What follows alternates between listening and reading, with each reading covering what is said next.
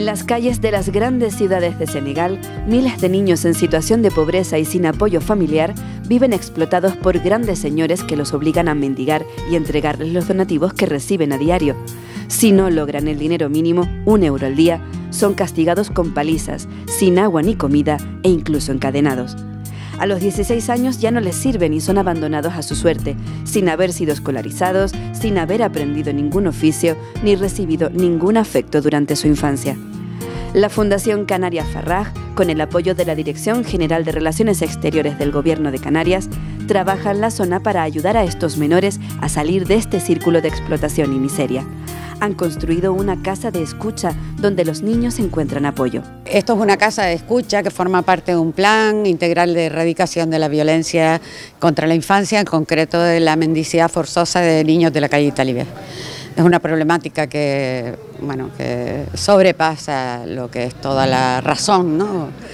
Eh, en la que niños de 3 a 16 años sufren la peor de las violencias con la obligación de, llevar un mínimo el valor de un euro diario a su explotador. Aquí tienen una, enfermería abierta 24 horas las 8 días de la semana, la casa está abierta todos los días de la semana, el horario de atención normalizado hasta las 8 de la tarde, luego se queda la enfermería de guardia, tienen duchas, tienen eh, buenos baños para hacer sus necesidades en condiciones mínimas, tienen eh, talleres de eh, aula para taller de alfabetización, para el aprendizaje de aritmética, tenemos robótica y alfabetización digital, talleres de ludoterapia, danzaterapia, musicoterapia y arteterapia. Y luego una de las actividades más importantes de esta casa es también la, escucha, ¿no? el poder eh, rescatar a ese niño que sabemos que está detrás de, esa mirada.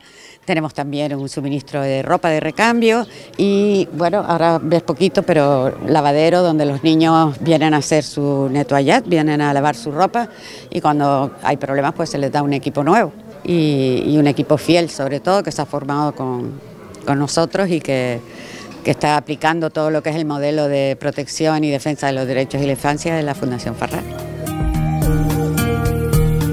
Muchos de estos niños son entregados a los explotadores por sus propias familias, ante promesas de que les van a dar trabajo y alimentos.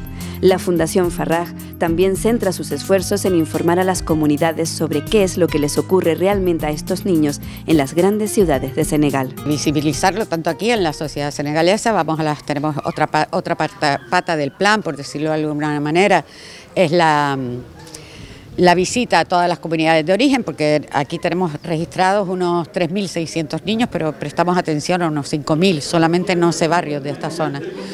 Se va a las comunidades de origen, muchas están en Gambia, otras llegan hasta Guinea, donde se les muestra a los padres pues toda la información de las torturas a las que son sometidos los niños, de la explotación y de, y de lo que está ocurriendo aquí, de verdad. Sale uno absolutamente conmovido de ver el trabajo en el territorio que hace la Fundación Farraz Canaria eh, en este lugar de Mambur, en Senegal, donde tienen como objetivo eh, acoger a esos niños que en definitiva son niños de pobreza invisible, la que no podemos visualizar, la que no, no vemos día a día.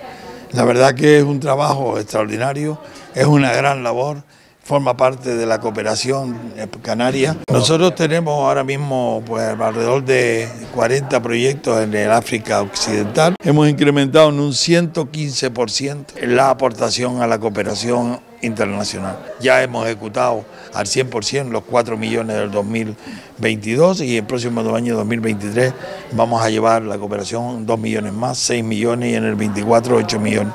Eso es un ejemplo más del esfuerzo que está haciendo este gobierno de solidaridad. La Fundación Canaria Farrag también desarrolla proyectos de cooperación y desarrollo en otros países del África Occidental. En Mauritania se esfuerzan en lograr una mayor autonomía a las mujeres que les permita generar ingresos propios. Esto pasa por la creación de infraestructuras destinadas a la atención de los niños y niñas de 3 a 5 años, para que sus madres puedan trabajar sabiendo que van a estar bien atendidos. Se estima que casi el 35% de los menores en Mauritania quedan a cargo de sus hermanos de menos de 10 años. Hay muchas actividades en el centro, hay clases de matemática, de informática, de costura, de artesanía, de alfabetización, de idiomas, de francés y próximamente formación profesional, albañilería, fontanería y carpintería. También está el jardín de infancia aquí como actividades. Tenemos también unas aulas para discapacitados, niños discapacitados. y otro proyecto de agricultura. La Fundación Farrag comenzó a trabajar en Mauritania en 2008. Desde entonces se han realizado numerosos proyectos y actividades, desde la construcción de una maternidad a la rehabilitación de una escuela de primaria o la mejora de pozos comunitarios. Ahora centran sus esfuerzos en la comunidad de Mederdra. Estamos trabajando con la red de la sociedad civil de Mederdra. Es una red formada por todas las asociaciones civiles, o sea, desde asociaciones de derechos humanos, asociaciones de educadores, de cooperativas de agricultura, de ganaderos y toda la sociedad civil está representada gracias a Minatumín, que es la presidenta. Eh, el trabajo de estos años ha consistido en, en, hacer lo que es el diagnóstico conjuntamente con la población, se han identificado eh, las problemáticas, se han priorizado las necesidades y este es el resultado de ese trabajo participativo.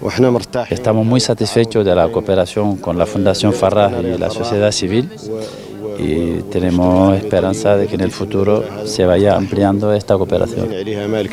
Estamos inaugurando un centro de formación profesional que el más cercano eh, en un buen coche está cuatro horas en Rosso y sin coche pues está varios días.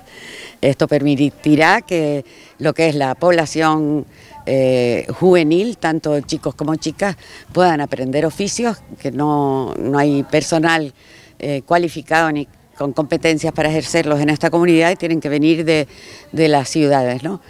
Estamos tremendamente satisfechos con el trabajo hecho, hemos visualizado el interés, la voluntad, tanto política de las instituciones. Este es el modelo que queremos seguir desarrollando y dejando implanta en todos los territorios donde queremos estar.